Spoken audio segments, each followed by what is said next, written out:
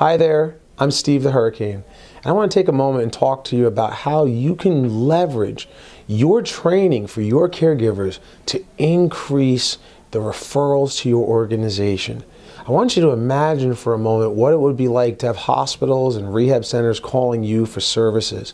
I want you to imagine what it would be like for you to be able to confidently increase your rates, therefore increasing your profits, while still growing your census at the same time. It all can be done through the training that you're providing your caregivers if you leverage it properly. Now, why should you listen to me? I've helped hundreds of agencies across the country increase their census, revenues, and profits through the trainings that we offer at Hurricane Marketing Enterprises. And so, for this right now, I'm going to give you three tips on how you can do all of that. The first thing you're going to do is as you're offering this training, Make sure that you're promoting it with all of your new hires. Make sure that all of your new hires are aware of some kind of a bonus structure that you offer them to be able to bring more caregivers into your organization.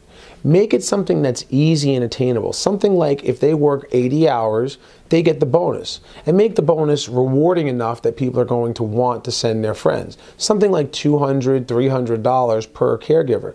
If you think about your cost per caregiver and the acquisition of acquiring a caregiver, it's probably in the ballpark of about $500 for every caregiver that makes the cut. So giving somebody 200 to $300 as a bonus for it is half the price of what it would cost you anyway. Now that you do that, that's going to bring more caregivers through. You train them, which will help with your retention, and that's going to make your company look better. So now the second thing we do, now that we have that, that's the first part. Second thing is now we go to our referral sources. When we go to our referral sources, many of the referral sources ask, where do you get your caregivers from?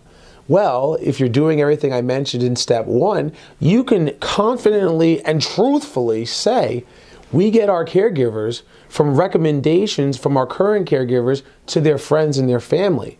Birds of a feather flock together, so many caregivers know other caregivers, and they recommend that they come work at our organization because of how we train them and how we take care of them. You can also create specialized programs to do lunch and learn in services. These are all things that we train people how to do you can do these specialized lunch and learn in services about dementia and then talk about how the training through IPCED that your caregivers get are specialized in dementia. So you're sending dementia caregivers in for the dementia patient. They should send you their dementia patients, stroke patients, orthopedic patients congestive heart failure, COPD, diabetes, and more. IPCED has everything. Train your caregivers on it, get them certified, and then make programs on it, and then go promote that to your referral sources to increase your referrals. You're liking where this is going, right? I promised you I was going to tell you all this. And finally, how do you increase your profits with it? The way the labor laws are changing, you have to raise your rates anyway. But I always say don't stick it to people. You don't need to be the highest price person in the area. Whatever the average price is, be about 5 to 10% more than that person. Now you're sitting down with your client or your potential client and you have to close them. Make sure you have a closing process. We have plenty of them at Hurricane Marketing Enterprises. We can help you with that. But when you have your closing process and you go through the person who just had a stroke or a hip replacement, say a hip replacement, and you can say, we are the orthopedic specialist. We have caregivers who are specifically trained through our company's training system, IPCED, on how to handle the orthopedic patient. We're the company for you. Now they look at your price. You may be $2 an hour more than the guy down the street, but you specialize in exactly what this patient has.